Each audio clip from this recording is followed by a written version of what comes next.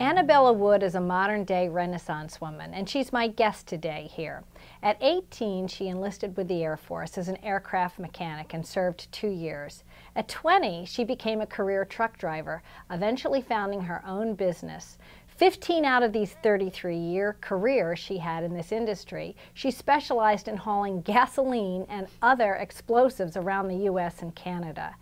She was awarded a Fulbright Scholarship at 45 to study the nature of thought and enrolled at Bryn Mawr College as a freshman in the physics department. After three years, she then refined her educational endeavors, earning a Bachelor of Arts in Holistic Studies in Spirituality and Religion from the Union Institute at the university, and she had a minor in metaphysics and quantum physics. She continued post studies at the Resonance Science Foundation Academy studying unified physics theory. She's an award winning singer and songwriter, acknowledged by the Independent Musicians Association for her famous song, Truck Driving Mama. She's also released seven music CDs. She is an ordained interfaith minister with the Circle of Miracles and sits on the board of the Twilight Wish Foundation. Currently, Annabella runs her own independent contracting business, which was acknowledged by Angie's national list as Best Contractor of the Year in 2011, one of many customer service awards she's received. She lives in the Bryn Mawr area in Pennsylvania, and in her spare time, she researches perpetual energy machines and is currently studying electrogravitic sciences. Her dream wish is to be and to take part in one of many interstellar flights, which will happen in the future. A year ago, Annabella traveled to the Great Pyramids of the Giza Plateau in Egypt with a group of 160 graduates from the Resonance Science Foundation, where she spent one full night occupying all three of the Great Pyramids on the Giza Plateau. Her uh, part of this experiment was to activate a potential energy system they suspected might be possible using voice activated vibratory frequencies. They literally tried to rock the pyramids. Tomorrow she leaves to join this very same group in Cusco, Peru, to explore the surrounding areas as well as spend one full night, the night of the full moon, at Machu Picchu. So I'm Jennifer Stein. Welcome to Main Line MUFON here at Radnor Studio 21. I am so delighted, Annabelle. We've been waiting a year to have yes, you come have. and speak about this amazing experience. I, I ran into you about a year ago, and your eyes were like this, and you said, Jennifer, you'll never believe what happened in the Giza Plateau. So thank you so much for being willing to mm. come and share this experience. Mm. I've always admired you, and as you can see, you are a Renaissance mm. woman. If anyone thinks you are not, that's my term for you, but you really, really are. Well, thank you, Jennifer. It's a, it's a pleasure. It's been a pleasure knowing you too. Oh, so. It is. It is. We've probably known each other 20 years through Haverford Yeah. College's uh, Global Dialogue program. Exactly. Right. Yeah. So let's start in Egypt, right? All right. What was the impetus to draw you to Egypt? Well, the Resonance Science Foundation has an, en- entirely new model of the atom in science. So that's where the difference is. And if we take the atom as being uh, something other than what traditional science says it is, all of a sudden possibilities open up to be able to d- work with gravity, to be able to levitate things. Electrogravitics is one of the gravity sciences that's now possible. It opens us up to perpetual energy machines, whereas before uh, we couldn't even think about that. And now we have a few different models that work. So, can we talk a little more about how we look at the atom differently? Um, if we go all the way back to Einstein, where, where um, quantum physics started, quantum physics is like a, a wonderful step. Glad we did that, but it's not accurate yet. Unified physics is the next science step. And in unified physics, we actually can explain now, for the first time ever, why two positively charged protons actually marry and hang on to each other for life, which no other science has ever been able to describe. And it's describable that These are energetic beings. They're not particles, they're not matter. They are vibrations with certain frequencies, and they're standing waves. And they lock into each other through gravity, through electrogravitics, among other things. But um, not to get too complicated, what it does is it changes everything in the material world becomes vibratory rather than material. So even the chairs that we're sitting on, the only reason they hold us up is because the frequency of our bodies does not match the frequency of the chair. So the chair stops us. We can't go through that force field. And it gives the very uh, convincing illusion that it's solid, but it's not. Nothing in this physical world is solid. And so when we resonate, that's why it's called the Resonance Science Foundation, when we resonate a vibrational frequency that matches the frequency of the material object, the material object will actually change some of its physical properties. So this is probably how we have these spiritual uh, traditions that um, Jesus walked on water, there was healing, things like this in the ancient world. It's also mm -hmm. overlaps in my thinking right into the UFO field, where mm -hmm. many people say, well, this being just walked through the wall. Yes. Right?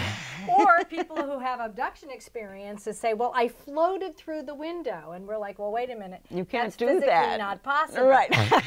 not with the way we're employing science, but yes. possibly yes. applying it from this resonance perspective it makes perfect sense. It makes perfect. Sense. And there, we've had examples where material objects have already uh, behaved this way, and we've considered them anomalies in science, uh, such as in a tornado.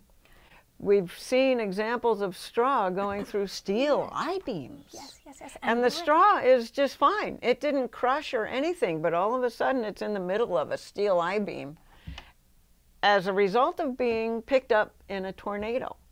And no one's ever been able to even hold an intelligent conversation on what happened. But when you see it as a resonance phenomenon, the tornado is actually spinning and it can spin at the same rate as the material that's in the I-beam and in the straw. And so once they match frequencies, the straw goes right into the I-beam as if it's not even there because it's force fields match. So it and molecularly changes yes, things. Right, it molecularly changes things. And they, since they're standing waves, they return back to their original form when the impetus from outside is gone. Wow. So, wow. Yeah, it's amazing. Very, very, very interesting. Our human limitations are not. Yes. They just are not true. Right. Uh, we just need to learn more and, and keep researching with open minds of this resonant field that Einstein actually defined in his equations. And when I was at Union Institute and University, I studied E equals mc squared for 18 months straight from wow. all different avenues, avenues. coming in yes. from spiritual and all these other places. Yes. What I love about Resonance Science Foundation is it dovetails all of the different places that we can gather information from, including sacred geometry. Sacred geometry, we found drawings of the actual fabric of space-time on temples in Egypt from 10,000 years ago. Are these like tetrahedrons, dodecahedrons, like that type of sacred geometry? Well, in the talk I'll be talking about it in more detail, but it is tetrahedral. Absolutely. And if we look at the Bible and the four faces of God, I have a whole lecture on ah. resonance science and the Bible. So, for, so it changes everything in that book. For the, for the viewing audience, okay. I am a reverend the, after all. For the viewing and listening audience, who may have some familiarity with this, what are some quick references where they can learn about platonic solids, tetrahedral sacred geometry shapes? What would you recommend? I would say find the avenue that they're interested in. Ancient, uh, ancient civilizations yeah, have all kinds of information. The Bible gives you all kinds of information, but don't take it as a sacred text.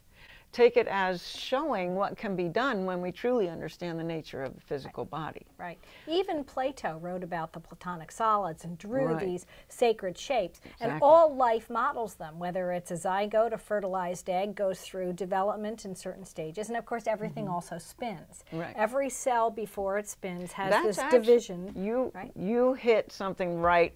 You hit the hammer right on the nail right there. Everything in the physical world spins. If it's not spinning, it's not physical. You can't see it. Like energy, one reason we can't see the energies we can't see is because it doesn't spin.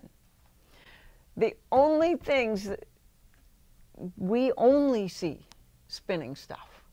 And that is what the proton is. The proton is space time, the material of space time itself, in the form of a funnel cloud, such as a tornado, Yes. on a very, very, very, very infinitesimally teensy small weensy scale. Right. and you get two tornadoes spinning and they connect and they will not come apart. And when we do the math on these two, uh, I'll, I'll go ahead and be brave, they're black holes.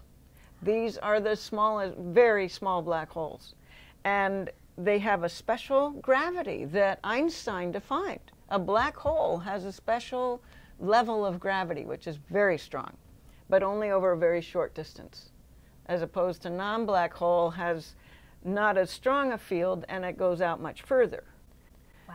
So because of the nature of the black hole gravity, protons hang on to each other with tremendous force. It's actually what is considered the strong force in today's science. Ah, so it's not the electrons, it's No. the protons. No, it's the protons are little black holes holding on to each other. The electron is the event horizon of those protons. I've got to take you to So- Electric Universe conferences. Okay, that'll I be gotta tell fun. you That'll be a lot of fun. So Yeah. let's go back to Egypt. Okay. Okay. so what does this have to do with Egypt? Well, right? and this great experience you had there. I, I want you to be able to share that. So, your group of 160 students went to the Giza Plateau and you occupied all three pyramids on a full night.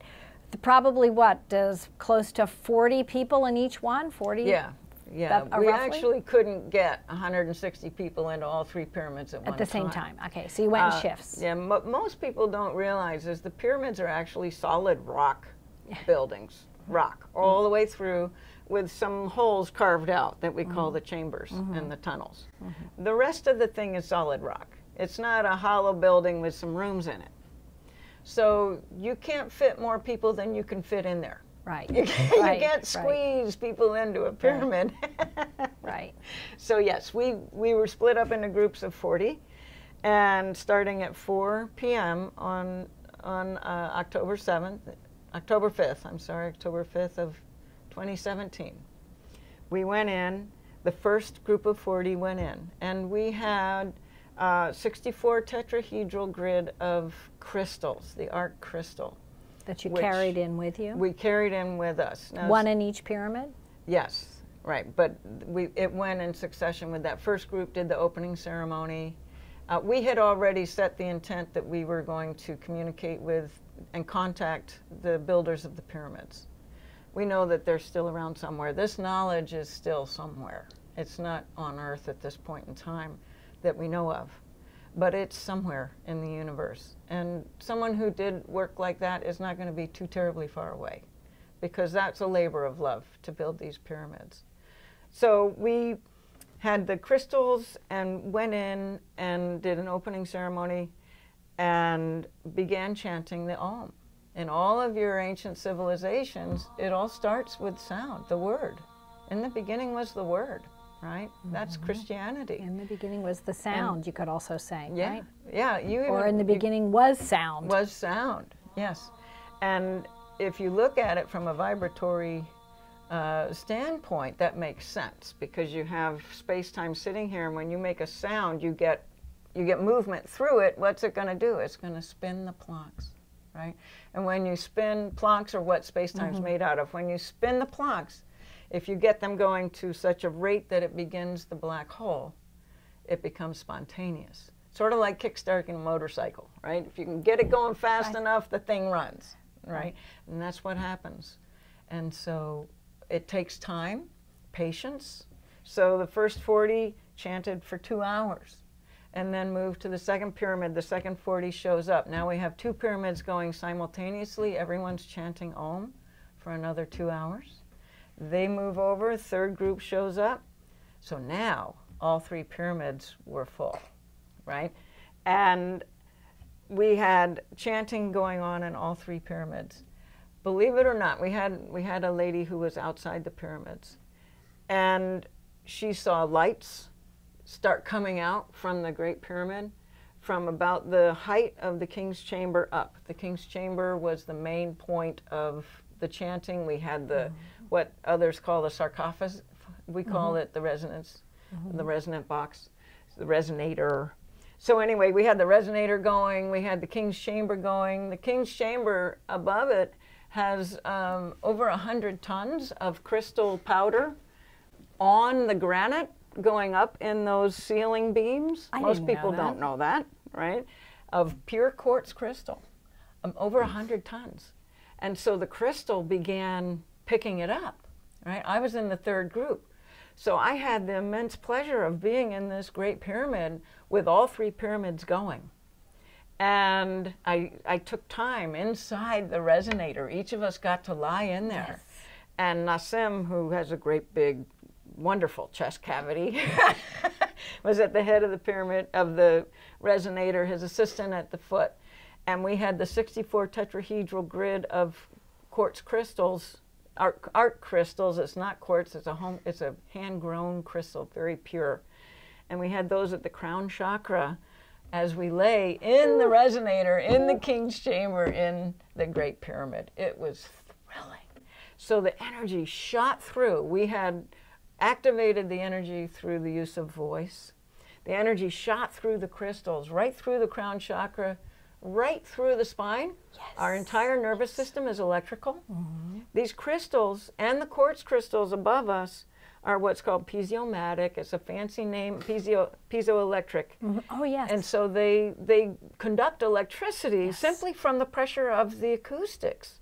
And so, boom, it jumped up the energy levels in our bodies. And my particular experience of it was I felt like my protons were spinning faster and faster and faster. Like, like I just started just, you know.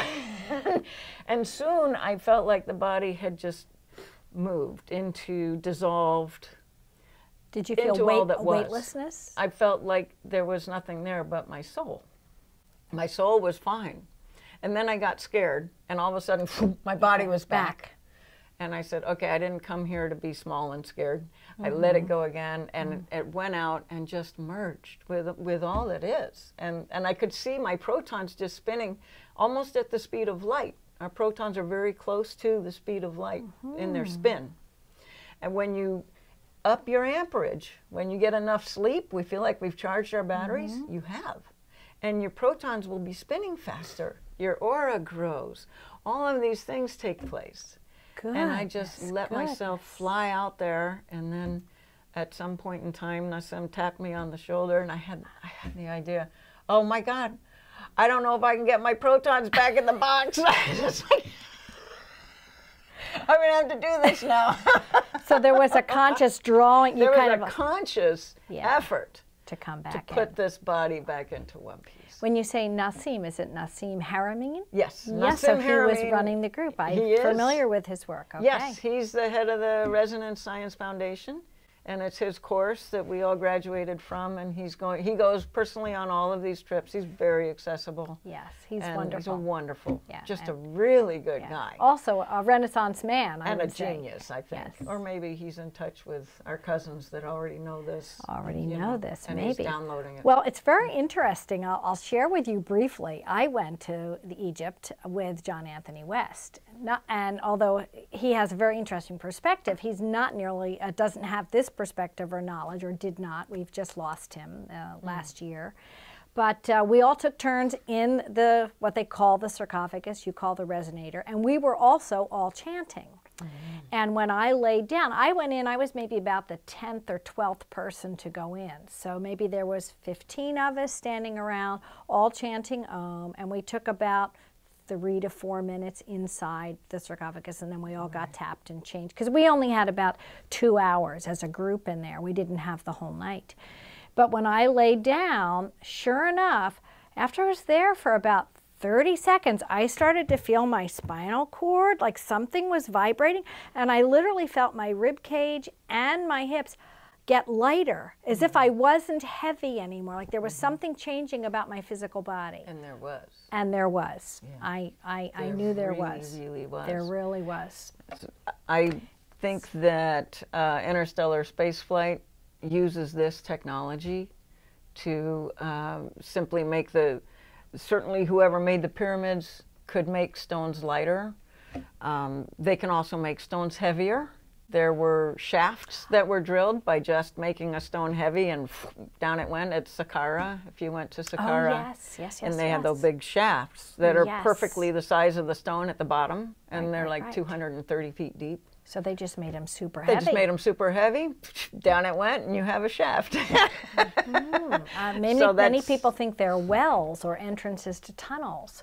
It's still quite perplexing. Yeah, I don't know what the shafts are for, but that mm -hmm. is the most likely explanation of how they were made wow. because they are the perfect size of the rocks at the bottom. Right. The one rock, you know, right. one rock per shaft. Right. And uh, so the I understand that there were some sort of revelations that people had the next morning when they came out. We, we have about five minutes left, so I'd like you to kind of explain a little bit about what that experience was like and what, what showed up. Yeah, absolutely. Um, we had a lady who physically was not able to be in the pyramids. As you know, the tunnels are very small, small. and you have to be very able to yeah, get around like in 42 there. by 42 inches. Yeah. Got, you got to walk like and, a duck. And you should have a bump cap on. Right, right. but so she stayed outside, and um, she sort of wondered why she even came on the stupid trip anyway. She wasn't getting in the pyramid, but, but you know how we do that. Mm -hmm. She stopped that and she said,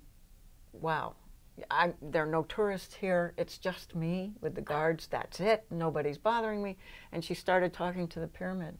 And she said, What's the message that I can deliver? And she said it was immediate. And the pyramid just said, Thank you. Thank you. She said, If, if a pyramid could be bawling, this one would be bawling with gratitude that we were back and we were activating the pyramid and the way in which it was made to be used. Then, at, at the end of everything, everyone had gone home. And the pyramids also connected as an energetic resource. Uh, in Cairo, a lab picked up what they called an electrical disturbance on the Giza Plateau while we were in those pyramids. And Cairo really? was 50 miles away, and they picked wow. up an electrical disturbance, is what it was called. So uh, something was going on in those pyramids. At the end of it, 4 a.m., the last group came out and they were exhausted and they just laid down on the ground looking up. And the stars started moving. A large cloud of stars started moving and they were watching and all of a sudden the lights came down and they came down above the pyramids and they hovered up there. They weren't close enough to identify as ships at this they were still high enough they just looked like lights. So unusual light Unusual orbs. lights hung above the pyramids for everyone said from 30 seconds to 5 minutes, who knows? Time stands still when you're in this type of energy zone. And and then all of a sudden all of them at once immediately exited together and the people that saw this got the same type of message, but with different words. It was, Thank you for contacting us. We're here, we hear you, and we're going to help you. Wow. We'll be back. Wow and it was. Was any of this picked up on camera? Was anything? No, because they told us not to bring cameras. I'm okay. taking my camera to Machu Picchu anyway. Yeah, yeah, yeah, yeah, yeah. Um, one of the tour guides on the bus on the way home, he had taken his camera in there, and you could see he was animated and really excited. And I happened to be on the bus seat behind the person who was running the tour, and he showed her his picture, and it was the resonator, Nassim, and her, and someone's in there, and they're chanting there is an orb larger than human size encompassing both of them, the resonator and the person inside, and it goes almost to the ceiling of the king's chamber. I haven't seen this picture since, and I don't know the guy's name, Uh-huh. but he was thrilled. Wow. And it was a golden orb. It was beautiful. One golden orb surrounding the whole thing.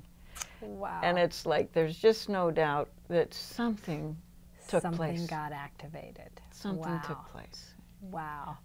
It's so, um, so amazing. I, I'm so grateful for you uh, sharing these experiences, not only with our group tonight, but also here at Radnor Studio 21. So if you've just joined me, uh, my amazing guest here is Annabella Wood, who has been a dear friend for a long time and has studied with Nassim Haramein at the Resonance Science Science Foundation. Foundation. Thank you. And she will be presenting a wonderful lecture at the Tredyffrin Library with us at Main Line MUFON. So if you don't know anything about Main Line MUFON, we are the Mutual UFO Networks group that meets on a monthly basis. Uh, we do regular programs at the Radnor Library. They're free, they're open to the public, and you can go to mainlinemufon.com to learn more information. We also put up many of our uh, lectures uh, online, if with permission of the speakers, and you can find that information at MUFON TV as well. So thank you so much for coming in, being Oh, our guest here at Radnor Studio. Very and if people want to find you, how can they find you, Annabella? Um, AnnabellaWood.com. And all of those things you mentioned, I have a page for each, and uh, physics is on there too. great, And great. you can get right to the foundation from there. And uh, I, it's it's amazing. It's Thank you so much for Aw, being here. you. It's so special. Oh, it's really, Thank really, you, really great. Thank you.